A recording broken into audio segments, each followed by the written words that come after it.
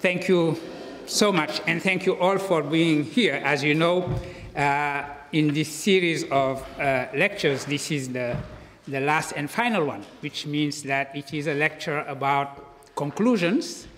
And in this lecture, what I want to do is actually put my own cards on the table. In other words, what I'm going to do in this last lecture is expose what the philosophy of translation, which is mine, uh, um, um, so, and in so doing, I'm going to just lay uh, my cards on the table and say that this is the point of view from which I have been speaking all the way. In other words, if, if and when I publish this, what I'm presenting now might as well be the first or the introductory uh, uh, chapter. So it means that it is going to be more, even more theoretical than what I have been doing until, until now. I'm exposing basically the theory of translation from which I have been uh, uh, working. So in order to do that, let me start with some close reading of French philosopher Emmanuel Levinas and his book entitled Humanisme de l'autre homme, or Humanism of the Other, published in 1972. And in particular, what I want to do is read closely the pages he wrote under the headline Before Culture from his chapter on signification and sense. So, in the pages of Emmanuel Levinas I am alluding to, he extols elevation and verticality as the mark of universality. Something universal for Emmanuel Levinas is something that is above all cultures, all languages, and so on and so forth. In other words, this is the, his insistence on the verticality and the elevation of the universal. Only, he says, from such an elevated position, an elevated perspective on a signification that could be detached from cultures, can we uh, make a universal judgment precisely on cultures. In other words, in order for us to have anything universal, it has to be detached from the particular cultures and languages that we deal with and be situated somehow above uh, all cultures and languages. So a normal question to ask would be, well, how is such a thing possible? If the only perspective I can have on the world is a perspective from the language that I am speaking at the moment when I speak it, how would be such a location possible which would be situated above all possible cultures and languages. So if one asks that question and asks about the reality of such a perspective outside any particular cultural perspective, the answer of Emmanuel Levinas is, well, that location is Western civilization. As simple as that.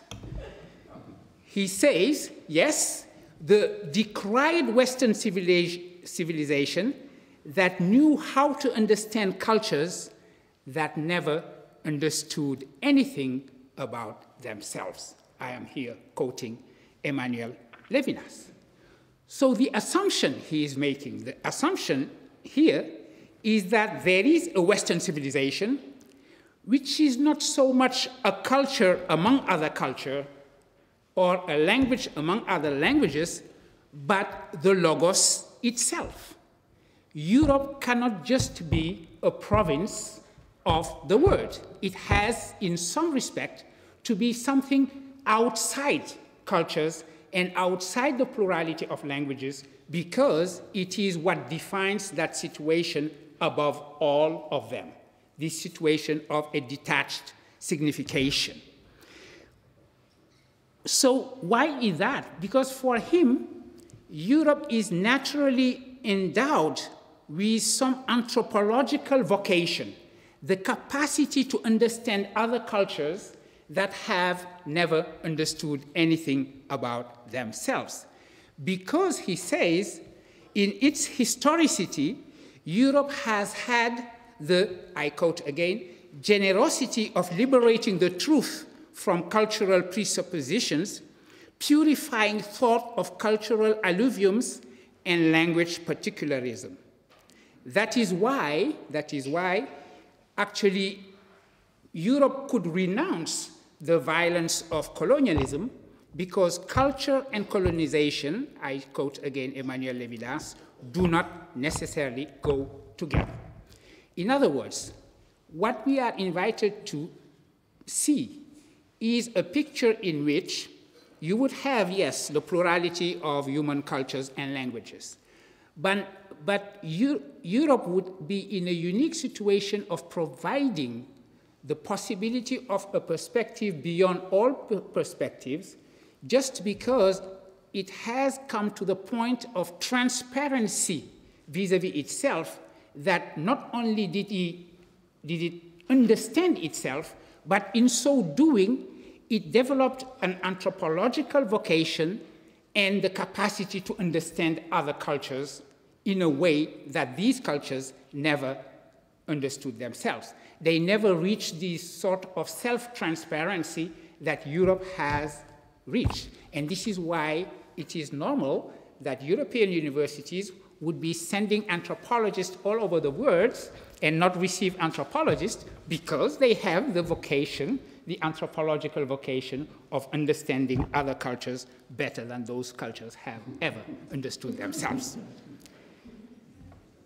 Now, ours is precisely a time of decolonization. And as Levinas writes, this time of ours is characterized by the radical opposition against cultural expansion by colonization. And if that comes to mean that even Western cultural expansion has no legitimacy anymore, the result of considering that all cultural personalities realize the spirit by the same rights, the French expression is réalise l'esprit au même titre. If we consider that all cultures are a realization of the spirit with capital S in the same way, then the result would be a loss of orientation. Playing on the words Occident and Orient, Emmanuel Levinas writes this, I quote, the word created by this saraband of countless equivalent cultures, each one justifying itself in its own context, is certainly disoccidentalized, it is also disoriented. End of quote. So, in a word, this is, in the language of Edouard Glissant, a chaos word. Except that for Edouard Glissant, a chaos word is something positive. The word has to be a chaos word. In the case of Emmanuel Levinas, if by a post-colonial word we understand a world in which Europe does not have the kind of unique leadership that its own telos and its own anthropological vocation gives to it, well, that word would be disoccidentalized, yes, but it would be also disoriented. No possible orientation or direction. Loss of orientation is loss of universality because, because then signification will be tied to languages and we will be left with the plurality of languages in a decolonized or a post-colonial world, and the verticality and elevation, which are, as I said earlier, the mark of the universal, would be simply impossible. The only dimension with which we would be left in that case would be the dimension of horizontality. Everything will be situated on the same plane. All cultures and languages would be absolutely equivalent, then you would not have anymore the possibility of the verticality or the elevation from which to talk about the universal. That would be the location of the universal. Such a situation will mean, I quote again Emmanuel Levinas, no direct or privileged contact with the world of ideas. Here his language is very Platonist language. No access to a universal grammar, but instead all we will have would be the possibility to, to go from one culture to penetrate another, as one goes from one's mother tongue to learn another language. And of course, I'm interested in this metaphor of one going from one's mother language to learn another language in this kind of horizontal relationship between languages with no dimension of verticality and universality. And at that point, Levinas evokes another French philosopher, whom you know well, Maurice Merleau-Ponty. And Merleau-Ponty, for him, is precisely the philosopher who spoke of the possibility of a lateral universality. And for Levinas, of course, a lateral universality would be a contradiction in terms. You cannot have a lateral universality if the only dimension for universality is verticality and elevation. If you are on a totally horizontal uh, uh, um, dimension, what would be the figure of this so-called horizontal or lateral universality? Now, before I examine what Merleau-Ponty did say himself, not as he is quoted by Levinas, and what his lateral universality uh, is, in order to ask what is wrong with getting out of one's mother tongue to learn another language, let me say a few words about the fact that the opposition that uh, is very strong in French academia, for example, to the, I quote here Jean-Francois Bayart, the academic carnival of post-colonial studies, somehow repeats Levinas' lament in the face of a word made of a saraband of countless equivalent cultures. In other words, what I'm saying here is that the opposition of the likes of Jean-François Bayart or Jean-Loup Amselle to what they see as some kind of conspiracy of the post-colonial studies uh, in those American universities uh, where, uh, you know, a few African intellectuals find themselves and so on and so forth. They are actually repeating what Emmanuel Levinas said himself about a post-colonial world of equivalent cultures with no dimension of verticality and elevation to provide for universality.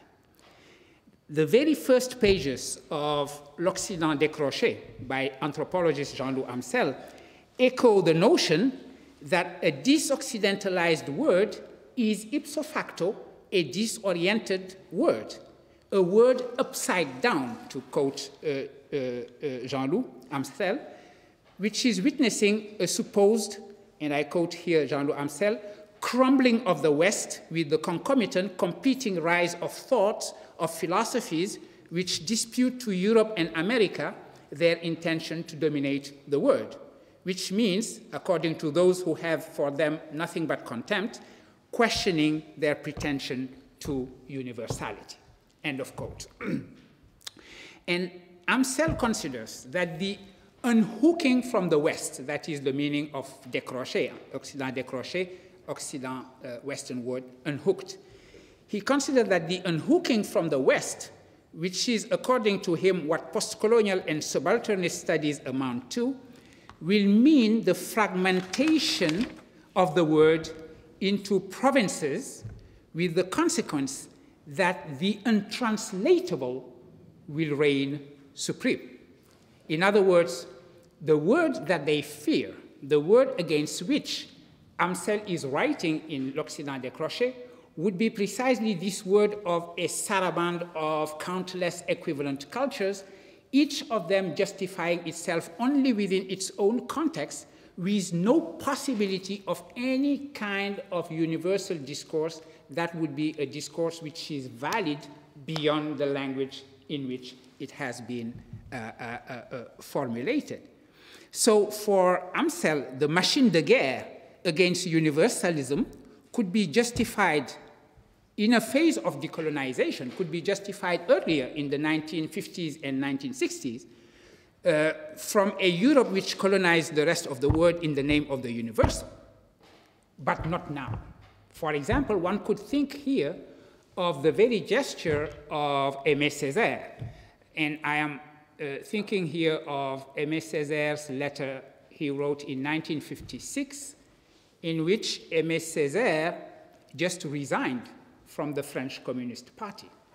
If uh, for those of you who have read that letter from Césaire, if you remember, Césaire was protesting uh, against a certain uh, um, universalism of the left, uh, which was for him uh, not much better than the universalism from the right. In other words, if colonization happened in the name of the universal, of the universal culture.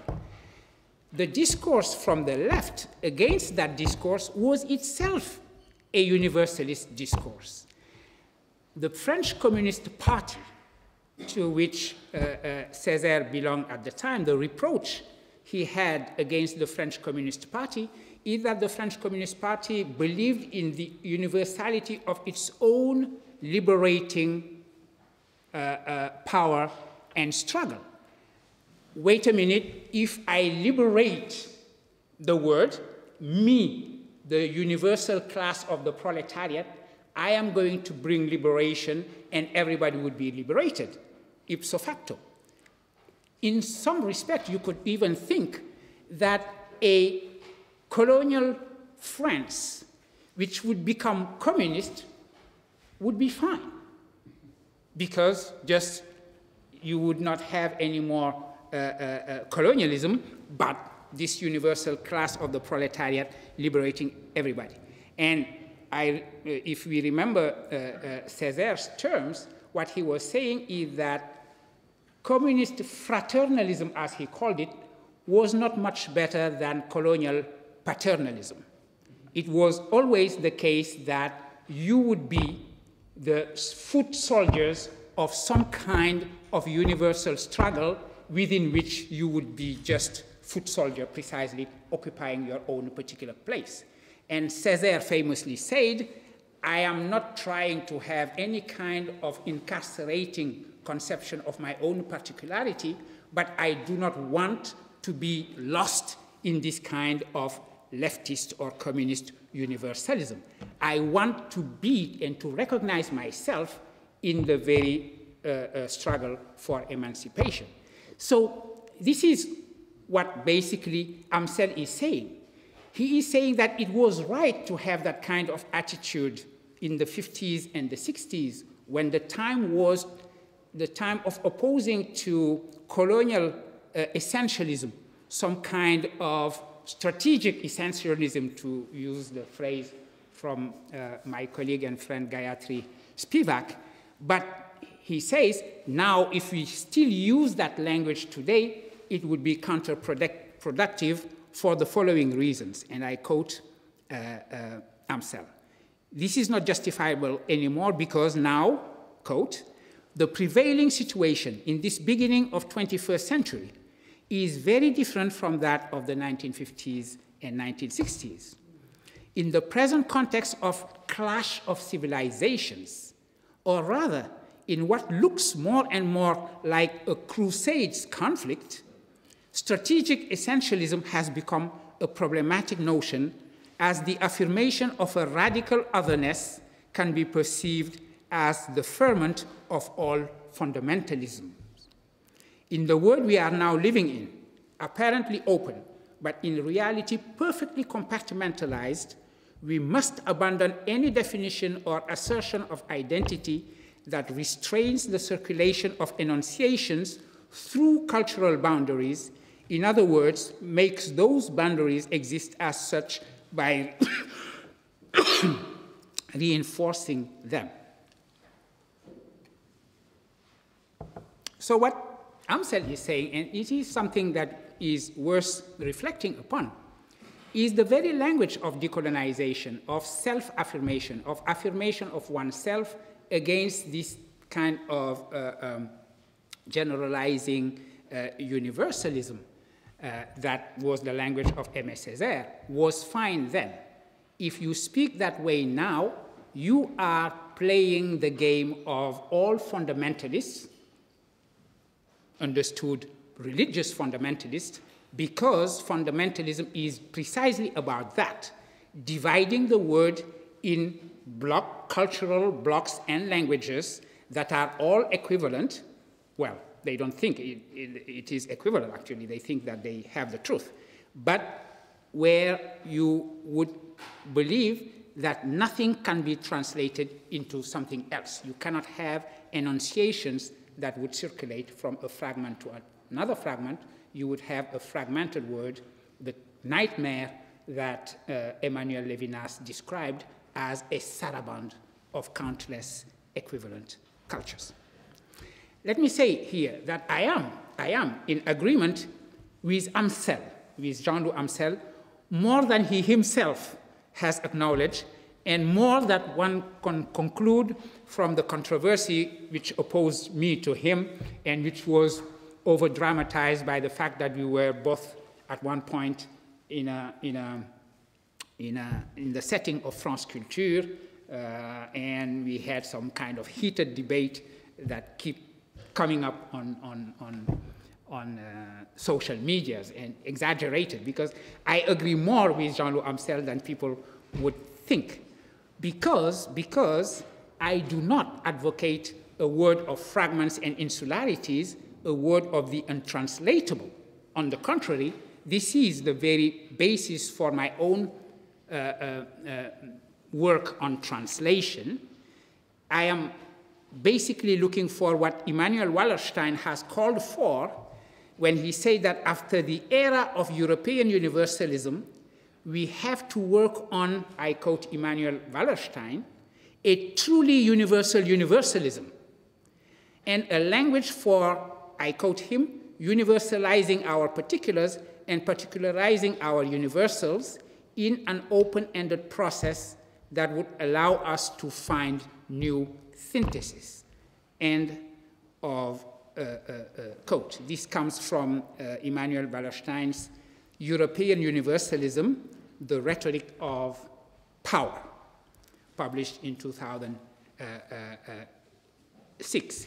It is, by the way, interesting that uh, when he ends his book, Immanuel Wallerstein ends it on uh, Senghor, Leopold Sedar Senghor, for him the best possible representative of this uh, task of trying to invent for our world a new, truly universal universalism, because he says uh, uh, uh Senghor uh, uh, is in, it, in his thinking this hybrid person, and in his, his philosophy is about precisely métissage or hybridity.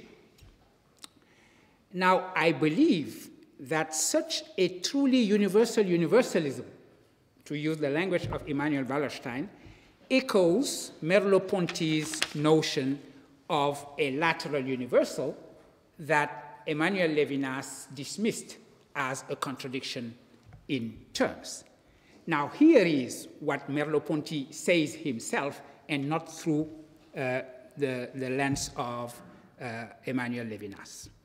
Merlo, I quote Merleau-Ponty uh, at length. The equipment of our social being can be dismantled and reconstructed by the voyage as we, have, as we are able to learn to speak other languages.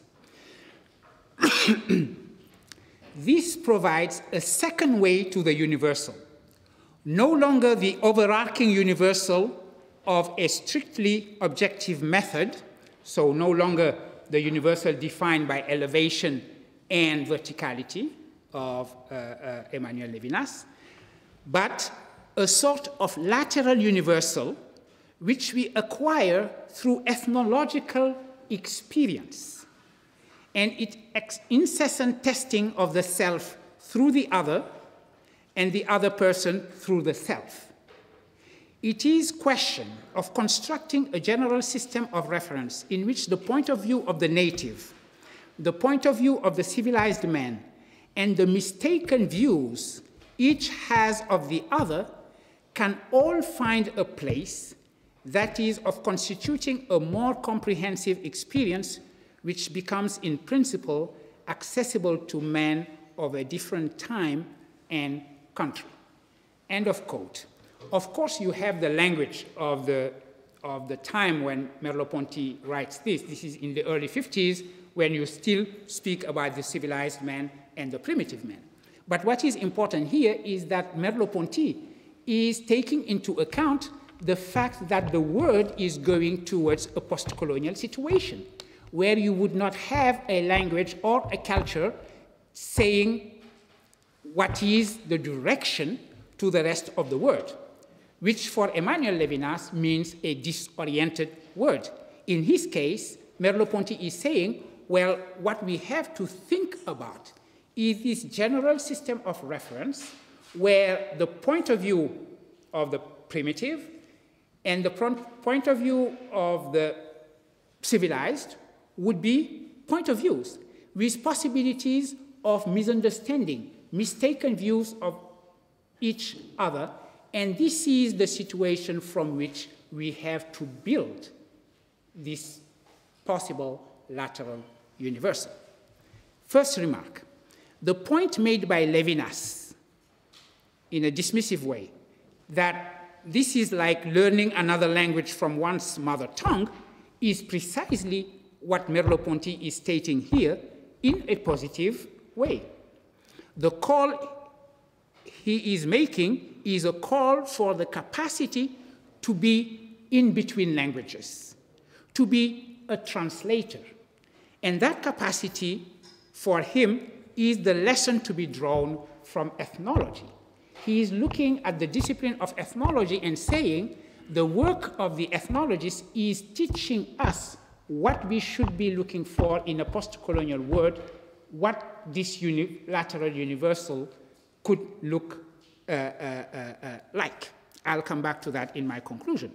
It is important to, quote, to note that the quote comes from the text he has devoted to his reflection on ethnology and is entitled From Marcel Mauss to Claude Levi Strauss. It is from his book Signs. It is important, and this is my second remark, that lateral universal as translation does not mean transparency and the elimination of the untranslatable. We are not, I'm not going to say that, well, now the new universal is the universal of translation, and we will reach transparency for all over the world. We would understand each other through translation, etc., etc. This is not the case.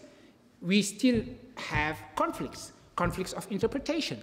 There is still misunderstanding. That is what Levi, uh, Merleau-Ponty is saying. In other words, this is not the elimination of the untranslatable, but the task of continuously overcoming misunderstanding and untranslatables precisely. The untranslatable or the unavoidable misunderstandings or mistaken views about each other are part of this incessant testing marked by the co-presence of many different views. So lateral universality does not have as its horizon the establishment of a kind of universal grammar nor the end game of a final reduction of the plurality of the chaos word to one and the same homogeneous word. What does it mean to learn to speak other languages is a very complicated question. And trying to understand the task at hand the indication by Merleau-Ponty that this is the horizon for a post-colonial world is uh, uh, what I'm trying now to say in the second and last part of my uh, uh, lecture. So I'm going to question what it means to apply what Merleau-Ponty is calling for to the very uh, uh, uh, discipline of philosophy. What is he learning from the practice of the ethnologist of being between languages and being a bridge or a translator, and what does that mean for the practice of philosophy? Let me take uh, an example in the history of philosophy. In his Traité des systèmes, treatise about systems, uh, French philosopher Abbé de Condillac, uh, uh, philosopher of sensationalism, this idea that nothing can be in our understanding if it was not first in our senses. uh, Abbé de Condillac, philosopher of sensationalism, has a criticism of Cartesian philosopher Malebranche. Malebranche is a Cartesian, so he believes in innate ideas, while Condillac is a sensationalist. For him, all our ideas have a sensible uh, uh, origin. But that is not the, the, the, point. What he does, he uh, critically analyzes an argument made by, by Malebranche. To understand the argument, let me just explain very quickly what Malebranche philosophy is. The system of philosophy of Malebranche is known as occasionalism. Occasionalism means that for him, in his system, there is only one single cause, which is God. Only God can truly be a cause. Now, when we talk about the plurality of causes, when you say, for example, that your neighbor is disturbing you, your neighbor is stepping on your foot, etc., etc., actually, no. It is God who is stepping on your foot through the occasion of your neighbor. Okay? So uh, uh, file your complaint to God. God is the only cause. The fire burns with the permission of God. If God did not want it, the fire would not burn you. So this is how miracles happen. Usually, God is consistent enough. Anytime there is fire, he is consistent enough to make it burn. But after all, he could decide that fire doesn't burn from now on after uh, uh, June 9, okay? Just in Germany, let's say. He could do that. In other words, one cause and only occasions. Of course, the theological question which is raised immediately is then how is sin possible? If God is the only cause, how come Adam and Eve had the by, by, uh, uh, bad idea of eating that bloody apple? At least if it was strawberry, we could understand, but apple, who would just disobey to eat apple and with all the consequences? So, the answer of Malebranche is to say, well, God has put in us natural inclinations, and our natural inclinations, put in us by God, always go to the good and the true. But it is the same, and he builds this analogy with matter. If you take the principle of inertia in physics, the principle of inertia says that if a movement is started, if nothing comes across, is, if nothing impedes it, is going to continue identically to itself until something stops it. In the same way, says Malebranche, our natural inclination goes towards the truth and the good unless, unless some extraneous cause is actually disturbing that. So for him, the analogy between matter's capacity for being moved and the inclination of the will originally given by God offers a clear understanding of a response to be made to the theological, philosophical question, and the answer could be this. As matter moves in a straight line, unless diverted by an opposing force, all inclinations tend towards goodness and truth unless acted upon by an extraneous cause. Now you are going to understand why I'm talking about Malebranche and Condillac after I talked about universality in a post-colonial world. Condillac answers to the argument made by Malebranche that all his reasoning rests upon the fact that actually he is speaking and writing French. He says, Your reasoning depends on the accident whereby the adjective droit in French happens to possess a vague, abstract moral sense as well as a precise, concrete physical sense. In other words, the whole argument made by Malebranche comes from the fact that when I say God put in me une, une inclination droite in French, I am using the same word droite to say straight than I would be using by saying a movement continues en ligne droite in a straight line unless it is impeded by some extraneous cause. Condillac is saying, well, pay attention to your own language. Your argument is entirely built on the fact that in French, droit, feminine droite, happens to have both this physical sense of something straight and this moral sense of something straight. By the way, you have the same thing in English because I've been translating straight without any problem, I would expect that you have the same thing in German. A straight line and someone morally straight? No.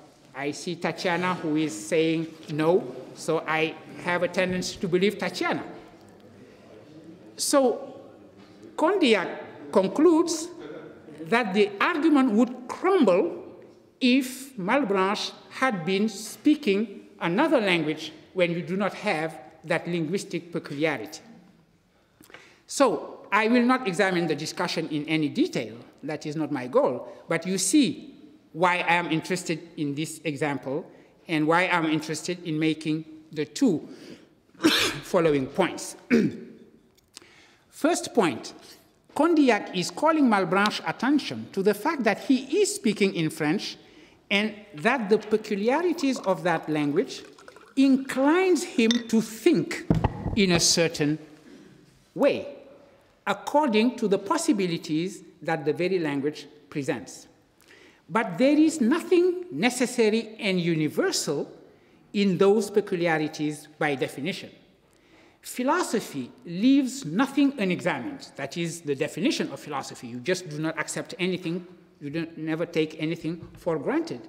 You do not let anything unexamined except the very fact that you are speaking a particular language and the language you are speaking is just one language among other languages. The language in which we happen to philosophize has the capacity to incline us to think in a certain inexamined way. Second point, which is implicit in Condillac criticism. The invitation he is making is to always translate. In other words, he invites somehow Malebranche to just pose the question now, what if I were speaking or writing another language? Let me try to translate what I just said in a language different in that it would not offer the same uh, uh, uh, possibility of metaphorically using uh, uh, straight in a different way. I am tempted to generalize this and to say that the invitation is to always think in the presence of a plurality of languages. In other words, to remember that to philosophize is to undergo the test of translation. Edouard Glissant famously wrote and declared, J'écris en présence de toutes les langues du monde. I write in the presence of all the languages of the world. Obviously, this is not the case. He could not possibly speak all the languages of the world. But to say that is to say two different things. I always write with the consciousness that my language is one language among other languages. And then I always ask myself, what would what I am saying become if translated in a totally different language? And that is the posture, I believe, that um, Merleau-Ponty's notion of lateral universal is inviting us to adopt. Of course, philosophers have always known that there are different languages, that there is a task to translate. Cicero do, did that with Greek philosophy, uh, Arabic philosophers did that with Greek philosophy. we have talked about that and we have discussed it. So they do know that Babel happened and that since Babel, we, have, we are living in a state of dispersion with many different languages. But there was still this notion that there is such a thing as a logos, this language which could be somehow detached from the plurality of languages, the language that Levinas had in mind and that Heidegger has in mind when he talks about a historical uh, uh, uh, language, a language with historiality like Greek or, or, or, or German. this is different from the notion of philosophizing in tongues, taking into account right from the beginning the plurality of languages and the fact that I always speak or write or think in a language which is one language among other languages. Uh, philosophizing in tongues is an expression I borrow from Barbara uh, uh, Cassin. Uh, uh, I mentioned her already as uh, someone whose work is very important for me, reflecting on, on, on translation. She uses that biblical expression of philosophizing in tongues, which conveys the double, the double idea that first, before they are concepts, our concepts are words, words in some given languages inscribed in certain linguistic uh, practices.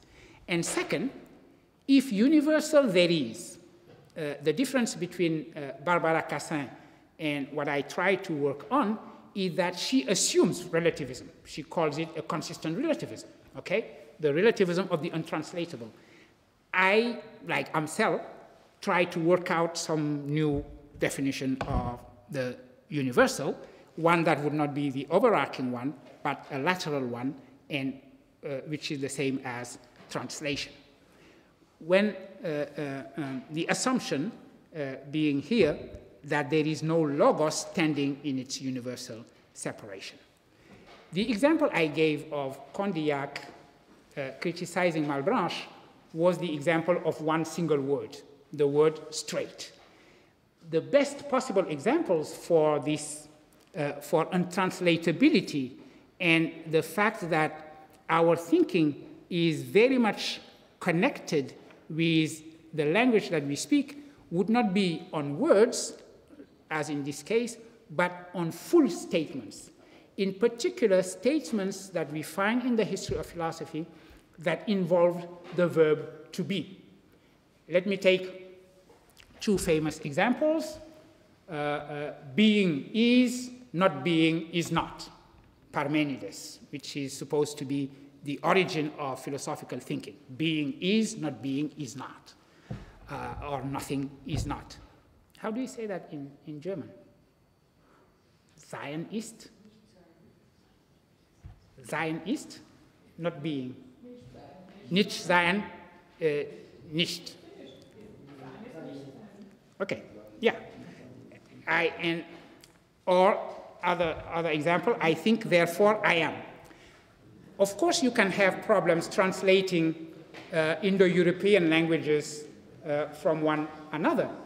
But the problem is even more so if you are looking at languages that are totally not Indo-European. Languages in which, for example, the verb to be is not used in the same way or doesn't have the same, doesn't offer the same possibility of being used in an absolute way. As I said, I think it was my previous lecture or the lecture before, in many languages, when you say I am, I think therefore I am, you cannot just say I am. I am is not the equivalent of I exist. If you are, you have to be to say what you are, where you are, in what position, next to whom, etc., etc.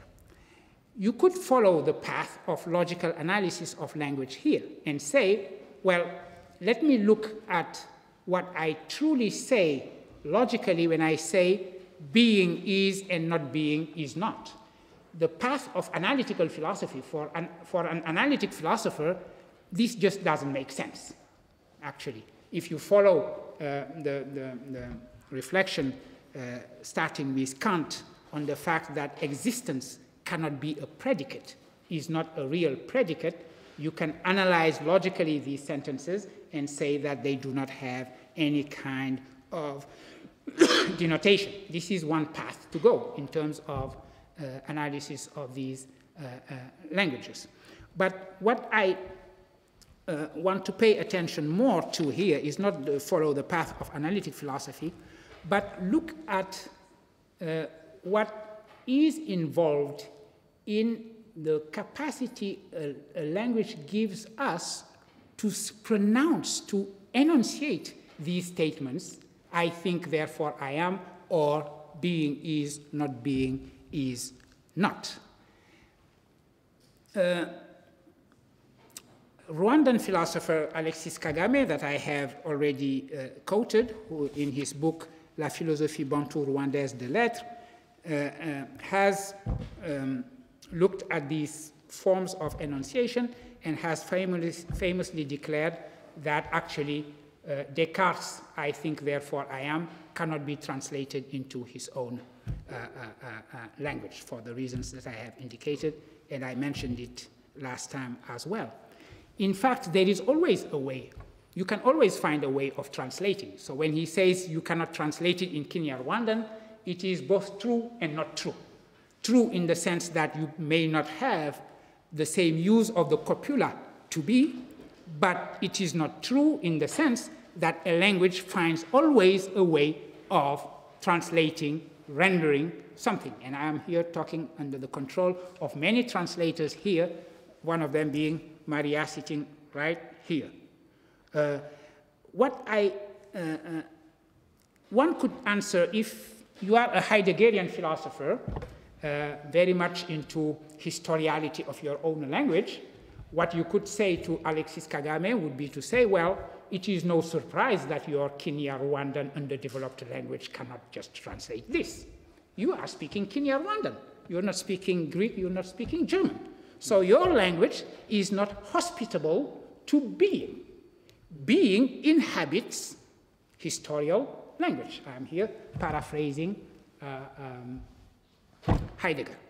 Or you could be more generous, that is to say, Nietzschean, and say according to Nietzsche, Nietzsche, you say Nietzsche in, in German, Nietzsche, that actually it is a question of what he calls a grammatical philosophy. Each language for him is a certain grammatical philosophy. I have evoked already this passage from Nietzsche's uh, uh, Beyond Good and Evil, and I have uh, uh, read it already the passage in which, or have I? The passage in which he makes this difference with uh, uh, um, philosophical uh, uh, grammar. Are we trapped with the philosophical grammar of our languages? I have used the verb to incline. The fact that a certain language inclines us to think and speak in a certain way. But to incline is not to necessitate. In other words, if I am saying that because I speak Wolof, I necessarily have to think a certain way because of the grammatical philosophy of Wolof, that would be total entrapment and incarcerating conception of the identity of a language.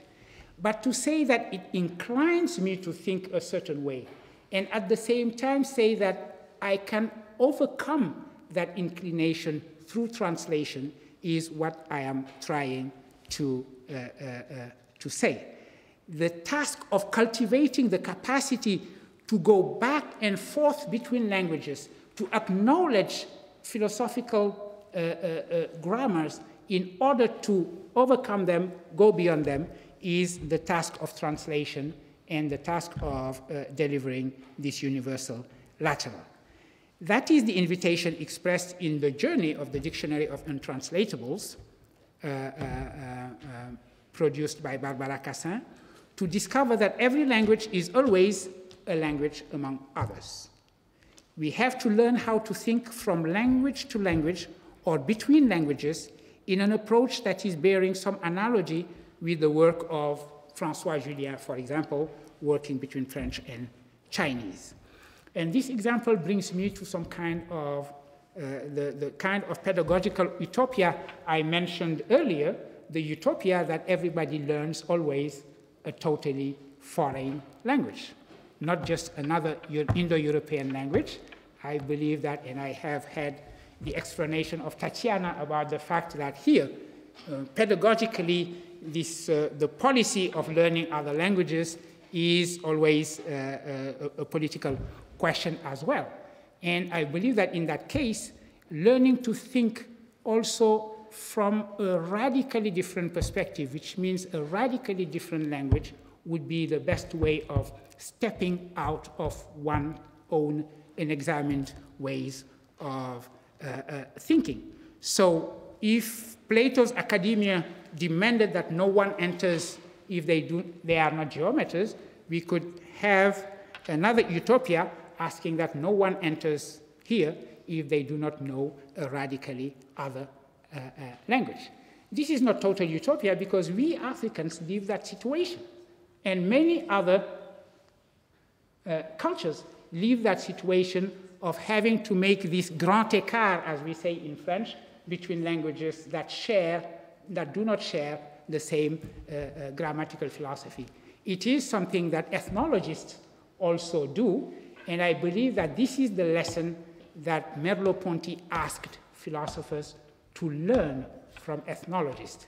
And I thought that having been uh, uh, so kindly invited by ethnologists and by the Institute, the Frobenius Institute, to think with you on translation, it would be appropriate for me to end on this particular lesson that ethnology and the humanism of ethnology has to teach everybody, and in particular philosophers, which is to live between languages.